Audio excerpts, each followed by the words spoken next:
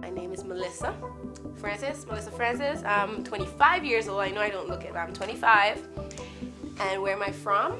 I'm from Antigua. That's in the Caribbean, in case you didn't know.